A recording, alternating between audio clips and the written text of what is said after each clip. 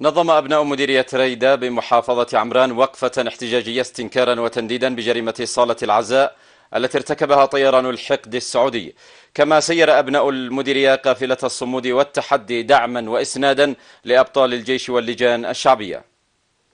جريمة الصالة الكبرى بالعاصمة صنعاء التي ارتكبتها عصابة بني سلول بحق المواطنين. لهي قمة في الوحشية واللا إنسانية والدناءة والحقارة والخبث. والحقد اللئيم على أبناء الشعب اليمني تلك الجريمة وغيرها من جرائم حرب الإبادة الجماعية. لاقت استنكارا وغضب شعبي واسع لدى أبناء محافظة عمران. فقد نظم أبناء مديرية ريدة وقفة احتجاجية. أستنكروا فيها تلك الجريمة البشعة معلنين النفير العام والأخذ بالثار لكل دماء شهدائنا الأبرار. أبناء مديرية ريدة ندين الفعل المشين الذي قام به آل سعود وأعوانهم في ضرب الكواتر الوطنية في القاعة الكبرى بصالة العزاء. التي ارتكبها طيران العدوان السعودي الأمريكي في الصالة الكبرى صالة العزاء في صنعاء إلا دليلا قاطعا على تجرد ملوك العهر والفسوق من الدين والأخلاق والقيم الإنسانية.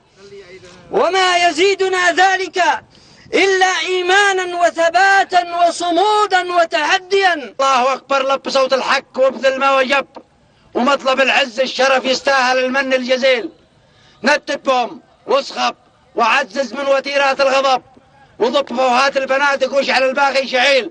وعقب الوقفة الاحتجاجية سير أبناء مديرية ريدة قافلة الصمود والتحدي دعما ومساندة لرجال الرجال المرابطين في جبهات العز والشرف والبطولة كدين بذلهم كل غالي ورفدهم الجبهات بالرجال والمال ولا يثنيهم جرائم بني سلول بل يزيدهم قوة وإصرارا على مواصلة اجتثاثهم من جزيرة العرب. وتحرير الأمة الإسلامية من خبثهم وتآمرهم على الإسلام والمسلمين.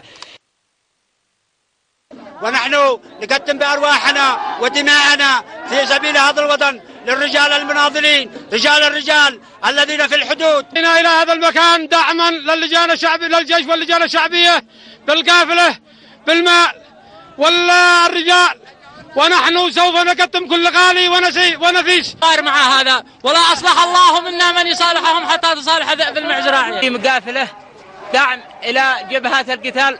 ونحن مستعدين من أبناء مديرية ريدة بعد الحادث الإجرامي الكبير الذي قاموا به في استهداف القاعة الكبرى كما توجه أبناء مديرية ريدة إلى مكتب البريد ليؤكدوا إنهم صخرة منيعة تتحضم عليها مؤامرات بني سلول وأسيادهم الصهاينة والأمريكان ومنافقيهم من العربان لتعزيز وصمود اقتصادهم الوطني في وجه العدوان الغاشم لقناة اليمن من اليمن وليد الوادع محافظة عمران.